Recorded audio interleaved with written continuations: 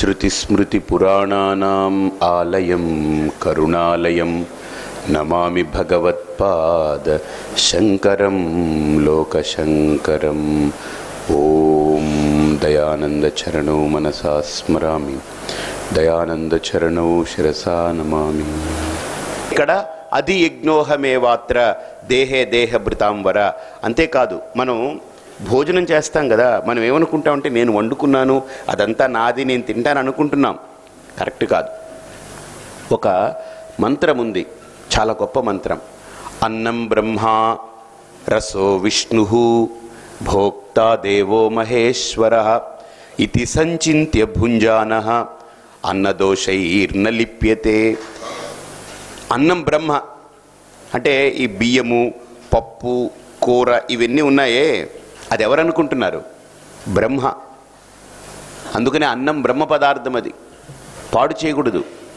చూడండి ఈ ఈ భౌతికంగా మనం ఆకులో పెట్టుకున్నటువంటి పదార్థాలు అన్నము కూర పప్పు పచ్చడి సాంబారను లేకపోతే ఇంకోటను పెరుగను ఇదంతా బ్రహ్మస్వరూపం. ఇప్పుడు అన్నము పప్పు కూర ఇవన్నీ ఉన్నాయి కదా దాంట్లో సారం ఉంటుంది. రసం. అది తింటే పిప్పి బయటికి వెళ్ళిపోతుంది. కానీ ఆ సారం ముందు చూసారా అదే శరీరానికి పడుతుంది. అందుకనే ఎవడైనా తినలేని పరిస్థితిలో ఉన్నప్పుడు వాడికి అన్నాన్ని బాగా మజ్జిగలో వేసి అలా గట్టిగా ఇలా నలిపి నలిపి నలిపి నలిపి నలిపి గట్టిగా ఇలా పిసికేసి దాన్ని తీసి పాడేస్తారు పిప్పిని. తీసేసి దాన్ని తాగిస్తారు. ఏమిటది? సారం. అది తాగగానే కొద్దిగా వాడికి ప్రాణం లేచేస్తుంది. కాబట్టి సారం. అన్నము బ్రహ్మ దాంట్లో ఉండే సారం మహావిష్ణు.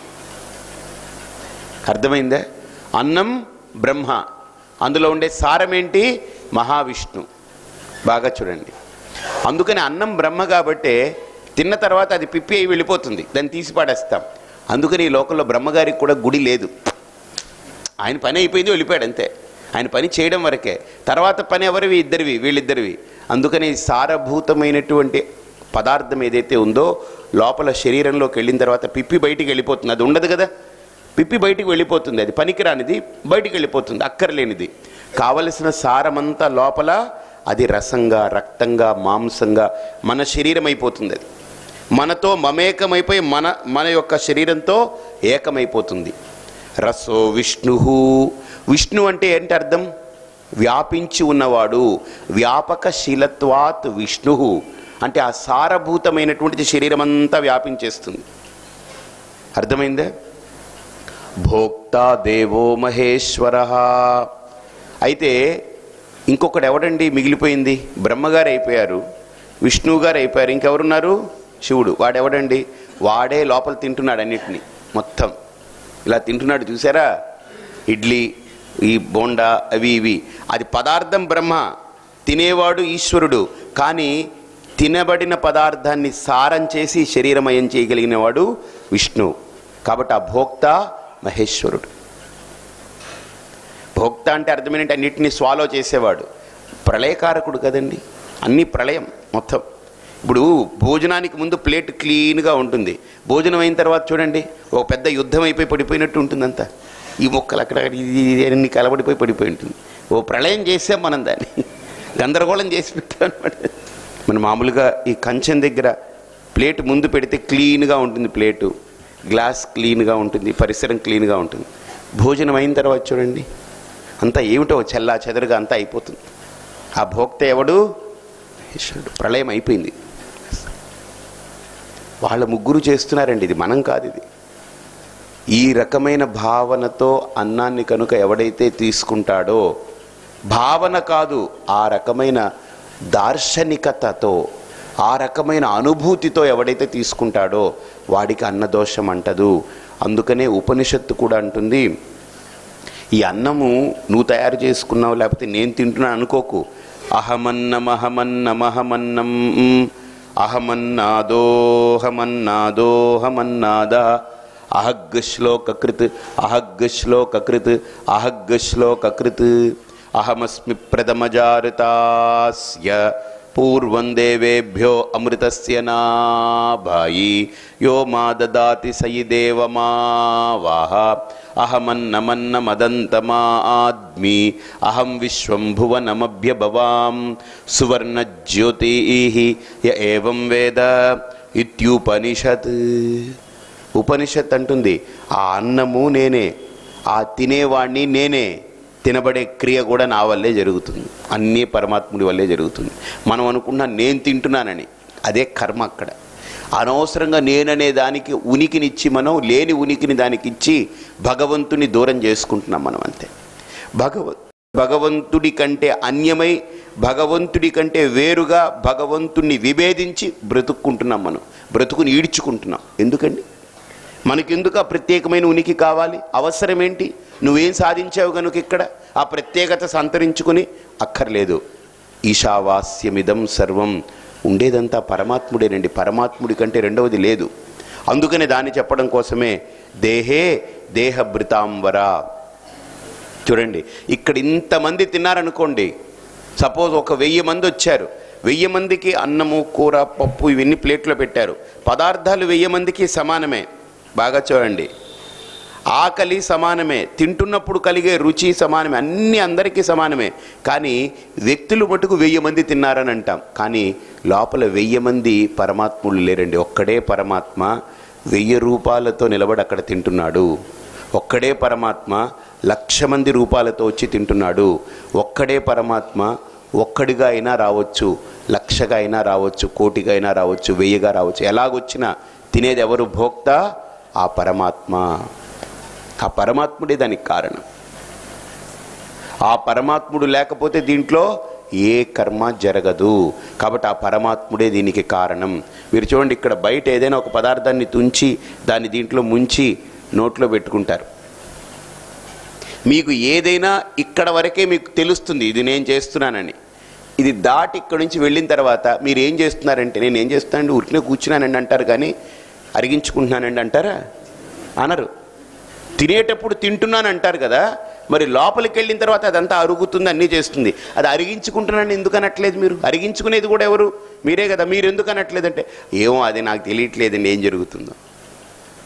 అంటే నాకు తెలిస్తే అవన్నీ నావి? తెలియకపోతే దేవుడిదనే. ఎంత తప్పుడు పని? నాకు అన్నీ తెలిస్తే అది నాది. నాకు తెలియందంతా దేవుడిది. తప్పు. తెలిసినా దేవుడిదే. తెలియకపోయినా దేవుడిదే గుర్తుపెట్టుకోండి. తెలిసింది కాబట్టి నేను తెలియలేదు కాబట్టి దేవుడు కాదు. తెలిసింది పరమాత్ముడే తెలియనిది పరమాత్ముడే. చర్మం బయట పరమాత్ముడే మర్మమై ఉండేది పరమాత్ముడే. సర్వము తానై ఉన్నాడు అక్కడంతే. నేను కాదు అందుకనే ఆ అన్నాన్ని సంప్రోక్షణ చేసి ఆ పరమాత్ముడికి నివేదన చేసి ఆ పరమాత్ముని అదే కోరుకుంటాం. అన్నం బ్రహ్మ రసో విష్ణు భోక్తా దేవో మహేశ్వర. ఇది సంచింత్య భుంజాన అన్నదోషైర్న లిప్యతే కాబట్టి పరమాత్మ నువ్వే అక్కడ అన్న రూపంలో ఉండేది నువ్వే. ఇదిగో ఈ భౌతిక శరీరము నువ్వే ఇది ప్రకృతి ఇది నువ్వే. లోపల ఎవడైతే దాన్ని తింటున్నాడో వాడు నువ్వే. కదండి? అవునా కాదా? వాడు నువ్వే. ఇప్పుడు ఇది ఎలా ఉంటుందని అంటే మీకు ఒక చిన్న ఎగ్జాంపుల్ చెప్తాను. ఒక లెటర్ రాశాడు ఒక ఆయన. లెటర్ రాసి అంత అయిపోయింది. ఆయన పైన అడ్రస్ ఏంటంటే పలానా పేరు పలానా ఇది అడ్రస్ అంతా రాశాడు. పోస్ట్ బాక్స్లో వేశాడు. ఐదు రోజుల తర్వాత ఆ లెటర్ ఇంటికి వచ్చింది ఐదు రోజుల తర్వాత ఆ లెటరు ఇంటికి వచ్చింది ఇంటికి వస్తే వాళ్ళ ఆవిడ ఓపెన్ చేసింది. ఇదేంటి ఈయన పేరు మీద వచ్చింది? అని ఆవిడ తీసుకుంది ఓపెన్ చేసింది. ఇదేంటి మా ఆయన రైటింగ్ ఏంటిది? చూడండి ఆయన లెటర్ రాశాడు అందులో. ఏంటంటే వాళ్ళ ఆవిడికి అడ్రస్ చేస్తూ రాశాడు. ఇది మన ఇంటి పరిస్థితి ఇలా ఉంది. నేను పలానా చోటికి వెళుతున్నాను ఇప్పుడు. నా గురించి నువ్వు బెంగ పెట్టుకోకు. ఒక పది రోజుల్లో వస్తాను. బాగా చూడండి. ఈ కార్యక్రమాలన్నీ ఇలా ఇలా చేసుకో. పలానా దగ్గర డబ్బులు పెట్టాను. నేను పలానా ఒక ఊరికి వెళ్ళి ఒక ఆశ్రమానికి వెళ్ళి ఒక్క నాలుగైదు రోజుల్లో తిరిగి వస్తాను. నువ్వేం బెంగ పెట్టుకోవద్దు. నీకేమైనా ఇబ్బంది ఉంటే ఇదిగో ఈ ఫోన్ నెంబర్కి ఫోన్ చేయి అని చెప్పి అన్నీ చెప్పి నేను నీతో డైరెక్ట్గా చెప్పలేక ఇలా ఉత్తరం రాసి వెళుతున్నాను అని లెటర్ రాసి పోస్ట్ చేసి వెళ్ళాడు. బాగా చూడండి. ఇప్పుడు వీడు రాసిన లెటర్ ఎవరికి? తన భార్యకే. అవునా? రాసింది ఎవడు? వీడే. అడ్రస్ ఎవరిది? అడ్రస్ పైన రాసేది. నా భార్యకి నేనే రాసుకున్నప్పుడు నా అడ్రస్ ఎందుకు రాయాలండి? మరి ఎవడిది రాస్తాడు? ఇప్పుడు ఆ లెటర్ వాడి భార్యకి అందాలి. వీడు రాశాడు. ఇప్పుడు వాళ్ళ భార్యకి అందాలంటే ఏ ఎవరి అడ్రస్ పెట్టాలండి? వాడి అడ్రస్సే పెట్టాలి. ఎందుకని? వాడి భార్య కాబట్టి. కాబట్టి వాడి అడ్రస్సే రాసుకున్నాడు అక్కడ. పోస్ట్లో పడేశాడు. ఎవరికి వచ్చింది మళ్ళీ? వాడికి. అందుకనే బ్రహ్మార్పణం. బ్రహ్మహవిహి. బ్రహ్మాగ్నౌ. బ్రహ్మణాహుతం. బ్రహ్మైవతేన గంతవ్యం బ్రహ్మకర్మ సమాధిన. వాడి అంశం వాడే రాసుకున్నాడు. ఎవరి కోసం? వాడి భార్య కోసం. అంతా రాసిన తర్వాత పైన అడ్రస్ ఎవరికి రాశారు? వాడిదే రాశాడు. పోస్ట్ చేసిన తర్వాత ఎవరికి వస్తుంది చివరికి? వాడికే వస్తుంది. వాడే రాశాడు. వాడి గురించే రాసుకున్నాడు. వాడి భార్యకే రాశాడు. వాడి అడ్రస్సే పెట్టాడు. వాడే పోస్ట్ చేశాడు. తిరిగి వాడికే వచ్చింది అంతా సో విషయం పూర్తయిపోయింది కదా? అంత వాడే వాడే వాడే వాడే వాడే. సర్వము తానైన వాడెవ్వడు. అందులో కర్త కర్మ క్రియ అధికరణం పంచం అన్నీ వాడే అయిపోయాడు మొత్తం. అవునా కాదా? కాబట్టి ఇక్కడ కూడా మీరు బాగా గమనిస్తే ఆ పరమాత్ముడే ఇన్ని రూపాలతో ఉండి ఈ ప్రకృతిని అంత అద్వితీయంగా నడుపుతూ ఉన్నాడు. కాబట్టి ఇక్కడ అర్జునుడికి ఒక డౌట్ వస్తుంది. ఏమిటనంటే నిజమేనయ్యా ఇప్పుడు నేను అనేటువంటిది ఉంది కదా అజ్ఞానంతో అవివేకంతో కల్పన జరిగింది. నేను నేను అనేటువంటి జీవుడికి ఒక కల్పన జరిగింది. ఉండేదే పరమాత్మ సత్యమే. నాకు అనిపిస్తుంది కానీ కనిపించట్లేదు. కానీ నేను అనేటువంటి వాడు మటుకు లోపల తొలుస్తూ ఉన్నాడు. అలాగ పురుగు తొలిచినట్టు తొలుస్తున్నాడు వాడు.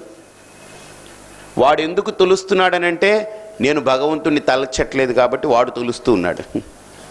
నేను పరమాత్మ పట్ల నా యొక్క శ్రద్ధాభక్తిని పెట్టి దాన్ని తలుస్తూ ఉంటే వీడు తొలుస్తూ ఉండడు ఇంకా. వీడి తొలుపు తగ్గిపోతుంది. కాబట్టి ఇప్పుడు నాకు ఆ నిష్ట లేదు కాబట్టి వీడి చేస్తున్నాడు కదా మరి వీడు పోయేటప్పుడు ఏమిటి? ప్రయాణ కాలేచ కథం జ్ఞేయోసి నియతాత్మభి. అడిగాడు అర్జునుడు ఏడో ప్రశ్న. ఆ ఏడో ప్రశ్నకి ఏంటంటే వీడు పోతున్నాడు కదా ఇక పోయేటప్పుడు అసలు ఏం జరుగుతుంది? ఎలా జరుగుతుంది? అసలు వీడు ఎలా పోతే బాగుంటుంది? ఎలాగ వీడు జీవితాన్ని తరింపజేసుకుంటే బాగుంటుంది? నాక ఈ జ్ఞానం చెప్పావు ఇది నాకు అందుబాటులో లేదు ఇది. కానీ నాకు అది జ్ఞానం కావాలి ఎందుకని? నా లక్ష్యం అది. మరి ఏం చేయాలని అంటే ఇక్కడ శ్రీకృష్ణ పరమాత్మ ఇక్కడ నుంచి కొన్ని శ్లోకాల్లో ఉపాసన నేర్పుతున్నారు ఆయన. ఏమిటి? ఉపాసన. అంటే ఎవరి మీద ఉపాసన అని అంటే ఆ సూర్యుడి మీద ఉపాసన. అది ఈశావాస్యోపనిషత్తు కూడా చెప్పింది. ఈశావాస్యోపనిషత్తులో మీకు ఆ సూర్యుడే నారాయణుడు ఆ సూర్యుడే పరబ్రహ్మ అని చెప్తూ దాని మీద ఉపాసన చేయమనండి. అలా చేయడం వల్ల ఏమవుతుందనంటే బ్రహ్మలోక ప్రాప్తి కలిగి అక్కడ ఉపదేశం పొంది తరిస్తావు. ఇక్కడ ఏ ఉపదేశం అయితే మీకు నేను చెప్తున్నానో ఇదే కొద్దిగా బ్రహ్మగారు స్పెషల్గా కూర్చుని వచ్చారా? కూర్చోండి. Okay right. ఇదేని ఉపదేశం చేస్తారు పో అంటాడు ఆయన. ఇంతసేపు ఉండదు అక్కడ. జస్ట్ ఒక మినిట్ అంతే. ఎందుకని? అక్కడ బ్రహ్మగారు ఉపదేశం చేస్తారు కాబట్టి. సో కాబట్టి ఇక్కడ పొందే ఉపదేశమే. అక్కడ కూడా పొందుతాం. కానీ ఆ ఉపదేశం కొద్దిగా వేరుగా ఉంటుంది. ఇక్కడ మీరు రావడానికి స్నానం చేసి బొట్టు పెట్టుకుని మంచి వస్త్రాలు కట్టుకుని అలా వచ్చారు. స్నానం చేసి జపం చేసుకుని బొట్టు పెట్టుకుని మంచి వస్త్రాలు ధరించి వచ్చి కూర్చున్నారు కదా. అలాగనే ఆ బ్రహ్మగారి దగ్గరికి వెళ్ళడానికి కూడా ఇక్కడ కొన్ని సాధనాలు కావాలి. ఆ ప్రిపేర్డ్నెస్ కావాలి శ్రీ భగవానువాచ అంతకాలే చ మామేవ స్మరన్ ముక్త్వా కళేవరం యః ప్రయాతి సమద్భావం యాతి నాస్త్యత్ర సంశయ కళేవరం అంటే కళేబరం కళేబరమే కళేవరం. అంటే వభయోర్ అభేద అంటారు. వకారానికి బకారానికి పెద్ద తేడా ఉండదు. అర్థమైందే? అందుకనే మనం బృందావన్ అంటాం కదా. బృందావనం అంటాం మనం. అటువైపు ఏంటంటే వృందాబన్ అంటారు వాళ్ళు. ఆ వాని బా బాని వా చేసేస్తారు. సో కాబట్టి కళేవరం అంటే ఇది సంస్కృతంలో కళేవరం అంటారు. ఇది కళేబరం అనరు. సంస్కృతంలో సంస్కృతంలో కళేవరం. సో మనం ఏంటంటే దాన్ని వాని బా బాని వా కింద ఉపయోగించడం అలవాటు ఉంది కొన్ని ప్రాంతాల్లో. అందుకని మనం తెలుగులో కళేబరం కళేబరం అంటాం మనం. కాబట్టి ఈ తేడా ఏం లేదు ఒకటే అర్థం. చచ్చిపోతాం అంతే. కదా? అంటే ఆఖరి ఊపిరేనంటే స్వామీజీ ఏమిటని అడిగారనుకోండి అంటే ఇప్పుడు ఇంకా ఇది లాస్ట్ బ్రెత్ ఇది లోపలికి వెళుతుంది ఇంకా బయటకు వెళ్ళిపోతుంది. ఇంకా ఇంకా ఆఖరి మనిషి ఉన్నాడండి వీడు కూడా వెళ్ళిపోతే క్లీన్ అయిపోతుంది అన్నారు అనుకోండి ఆఖరి మనిషిని మనం ఆపుకోవచ్చు ఇక్కడ ఈ గదిలో. వెళ్ళకరా బాబు క్లీన్ అయిపోతుంది నన్ను కూడా పంపించేస్తాడు కాబట్టి నువ్వు ఉండు అని. కానీ ఆఖరి ఊపిరిని మనం లోపల కనుక నిలుపుకుంటే బయటికి వెళ్ళనివ్వకుండా ఆపుకున్నా చచ్చిపోతాం తీసుకోకపోయినా చచ్చిపోతాం. కదా? ప్రాణం పోతుంది. కాబట్టి ఆఖరి ఊపిరి ఏదైతే లోపలికి వెళ్ళి బయటికి మళ్ళీ విసర్జింపబడుతుందో ఆ ప్రాణము వెళ్ళే సమయంలో అంతకాలేచ మామేవ స్మరన్. అంటే ఇక్కడ పరమాత్మ ఒక చక్కటి మాట చెప్తున్నాడు. అర్జున ఎవరైతే ఆ ఆఖరి ఊపిరి పోతున్న సమయంలో నన్ను మనస్సు బుద్ధి చిత్తము అహంకారం అన్నిటినీ ఏకోన్ముఖం చేసి తన పంచప్రాణాలని పంచ జ్ఞానేంద్రియాలని పంచ కర్మేంద్రియాలని అన్నింటినీ కూడా అంటే ఎన్నున్నాయి మొత్తం పంచ ప్రాణాలు పంచ జ్ఞానేంద్రియాలు పంచ కర్మేంద్రియాలు ఎన్నయ్యాయి? పదిహేను. మనస్సు బుద్ధి చిత్తం అహంకారం. ఎన్నైంది? పంతొమ్మిది. ఈ పంతొమ్మిది కూడా ఎవరైతే నా ఎందు లగ్నపరచి ఆ పరమాత్మ ఎందే దృష్టిని పెడతాడో వాడు స్మరణ్ కళేవరం ముక్త్వా. ఈ కళేవరాన్ని దాటి ఈ దేహాన్ని విడిచి ప్రయాతి. వాడు వెళుతున్నాడు ప్రయాతి. యాతి అంటే కూడా వెళ్ళడమే. యాతి గచ్చతి. అంటే యాతి అంటే పోవడం. అందుకని ప్రయాణం అంటాం. అంటే ప్రయాణం అంటే కదిలి వెళ్ళడం అనమాట యాతి అన్నా వెళ్ళడమే కానీ ప్రా అనే శబ్దం ఎందుకు వాడారు అని అంటే ఎవడైతే ఆఖరి నిమిషంలో అంటే ఈ దేహాన్ని విడిచిపెట్టి వెళ్ళేటప్పుడు నన్నే పరిపూర్ణంగా అన్నిటినీ నాయందే విలీనం చేసి నాలోకి అన్నింటినీ కూడా లాగుకొని అన్నిటినీ పంచ జ్ఞానేంద్రియాలు పంచకర్మేంద్రియాలు పంచ ప్రాణాలు మనోబుద్ధి చిత్త అహంకారాలు ఈ పంతొమ్మిదింటిని కూడా ఎవరైతే నాలోకి ఉన్ముఖం చేసుకుని అంతర్ముఖం చేసుకుని వాడు నా యందు స్థితుడై ఉంటే అటువంటి ఆ జీవుడు దేహాన్ని విడిచిపెట్టి వెళ్ళేటప్పుడు వాడికి ఏమవుతుందని అంటే ప్రయాతి. వాడు ప్రయాతి అంటే అర్థం ఏంటంటే మామూలుగా వెళ్ళడం కాదు. మళ్ళీ తిరిగి రాకుండా ఉండే వెళ్ళడం పొందుతున్నాడు వాడు. మళ్ళీ తిరిగి రాడు. ఎక్కడికి వెళ్తున్నాడు? సమద్భావం యాతి. అంటే నన్ను పొందడం కోసం వాడు ప్రయాణం అవుతున్నాడు ఎక్కడికి? బ్రహ్మలోకానికి పోతున్నాడు. అక్కడికి వెళ్ళిన తర్వాత అక్కడ వీడు నా స్మరణతోటే పోయాడు కదా. నాకు పరమాత్ముడే కావాలి ప్రకృతి వద్దు పరమాత్ముడే కావాలి ప్రకృతి వద్దు అనేటువంటి ఆ పరమాత్మ అపేక్షతోటే వాడు ప్రాణం విడిచిపెట్టాడుగా. అది సహజంగా జరుగుతుందంటారు అందరికీ? ప్రాణం పోయే సమయంలో పెద్దాడు ఏం చేస్తుంటాడో?